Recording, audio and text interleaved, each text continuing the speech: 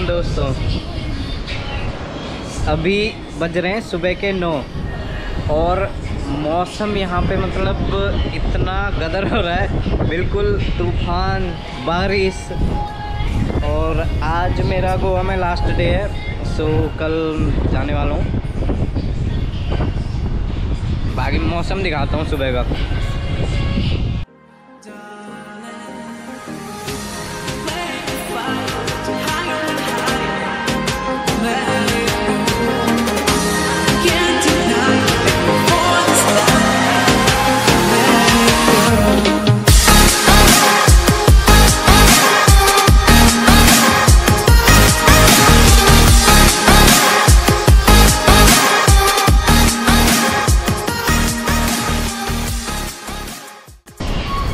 सुबह चाय और ये मौसम। मतलब सुबह आँख खुलते ही समुंदर का व्यू दिखता है यहाँ से। नींद खुली, ऊपर आए तो देखा, भाई बाहर तो बिल्कुल ही मौसम बहुत अच्छा हो रहा है।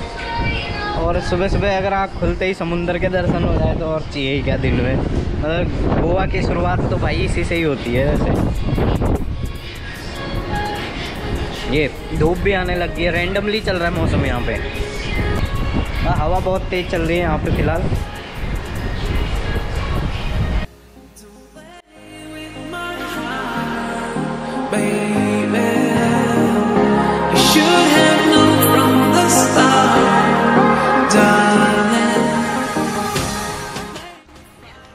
गोवा में आए हुए मुझे हो गए हैं पाँच महीने।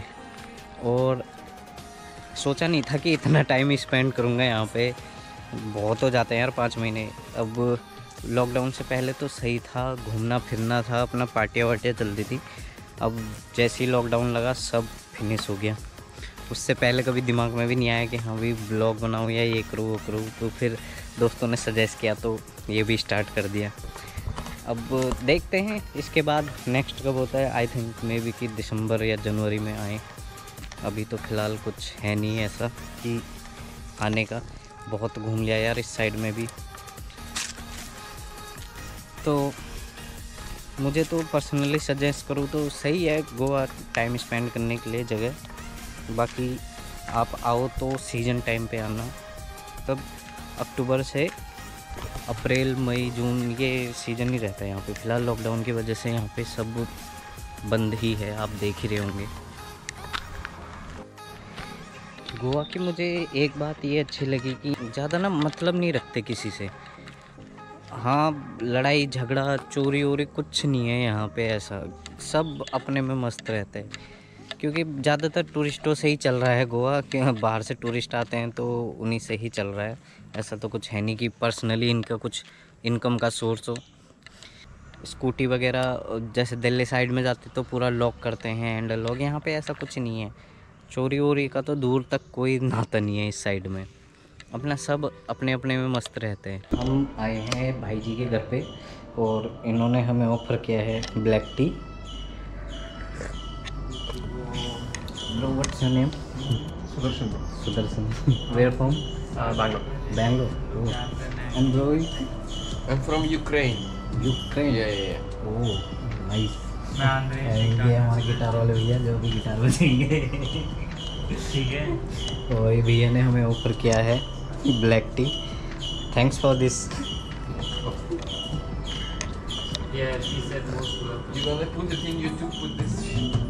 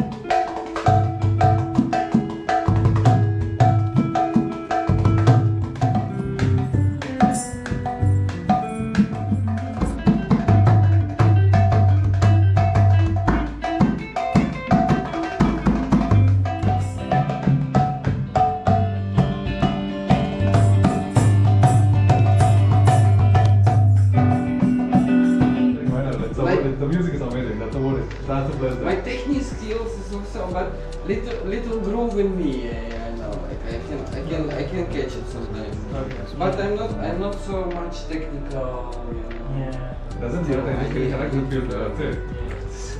In that way, I need to learn way more. I'm still growing, you know. Still, yeah. A lot of things we still need to practice.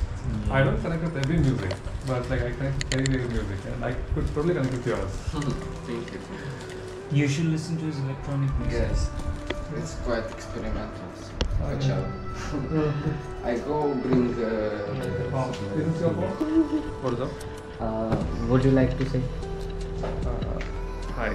Camera shy. Hello, thank you for watching. Hope you enjoy.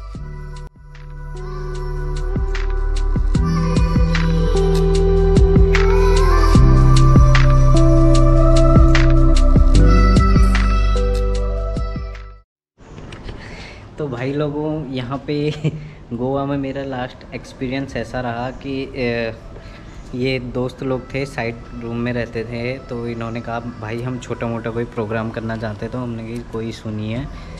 तो गोवा में कुछ अच्छे लोग भी मिले, कुछ बुरे लोग भी मिले। जैसे एक एक जगह हमारा पेट्रोल ख़त्म हो गया था, हमारे पास दस रुपये कम थे तो वो बेटे ये देखो।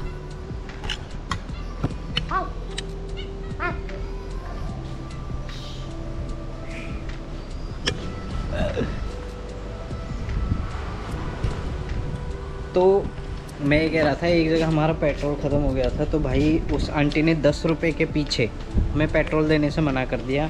ये कह रही, पहले पैसे लेके आओ दस रुपये तब हम आपको पेट्रोल देंगे। सो कुछ अच्छे लोग भी मिले, कुछ बुरे लोग भी मिले, अब क्या कह सकते हैं? ये तो हर जगह मिलना ही है।